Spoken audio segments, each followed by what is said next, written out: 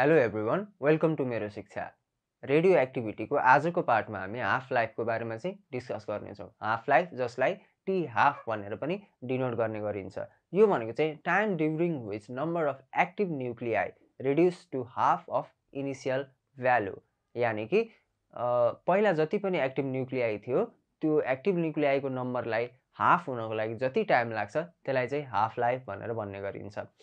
For example हामीसँग हन्ड्रेडवटा active nuclei थियो पहिला र यिनीहरूको हाफ लाइफ चाहिँ टेन सेकेन्ड थियो भने टेन सेकेन्डमा त्यो हन्ड्रेडबाट कतिमा रिड्युस हुने भयो? फिफ्टीमा। र त्यसको टेन सेकेन्ड पछि कतिमा रिड्युस हुने भयो? ट्वेन्टी फाइभ त्यसको टेन सेकेन्डमा twelve point five and so on so यहाँबाट कहिले काहीँ ट्रिकी क्वेसन पनि सोध्ने गर्दछ कि लाइक टेन सेकेन्डको हाफ लाइफ छ भने आफ्टर थर्टी सेकेन्ड चाहिँ कति चाहिँ डिसइन्टिग्रेट भएर गइसक्यो न्युक्लियाई र कति चाहिँ एक्टिभ न्युक्लियाई बाँकी छ भनेर यो किसिमको चाहिँ क्वेसनहरू सोध्ने गरिन्छ।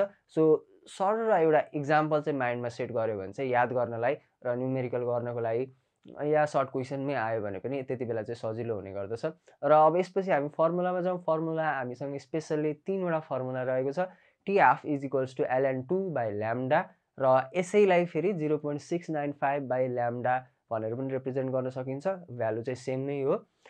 र त्यसपछि N equals N naught by two to the power T upon T half यो तिनवटा फर्मुला चाहिँ रेडियो एक्टिभिटी अन्तर्गतको हाफ लाइफमा चाहिँ हामीले स्टडी गर्नुपर्छ thank you Now, if you have any questions about this topic, go to the expert Q&A section, upload your question and send it to get an expert answer in 30 minutes.